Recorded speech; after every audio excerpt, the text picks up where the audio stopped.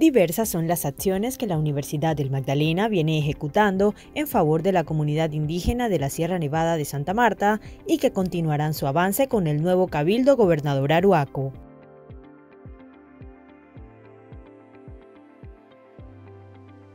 Nosotros sabemos que hay un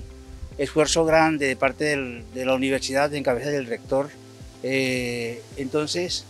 nos asiste como esa confianza, esa alianza con la universidad para poder trabajar algunos proyectos que va en pro y bienestar de la comunidad.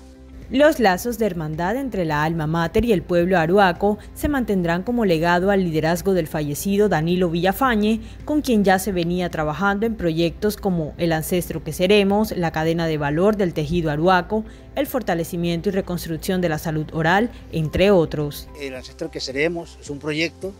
y también el tema del tejido, las mochilas, la mochila aruaca, que es único, eh, una, un instrumento económico y simbólico que nace desde la cultura propia de nosotros.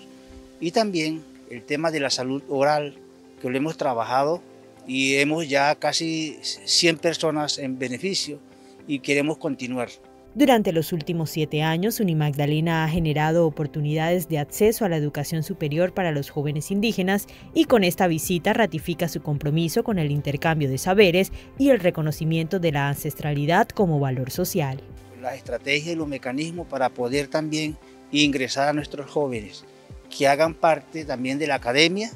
y desde el punto de vista que la universidad reconoce que la cultura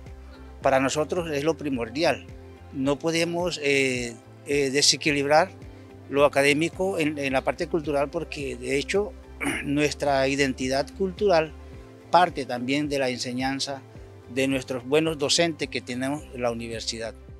Universidad del Magdalena, aún más incluyente e innovadora.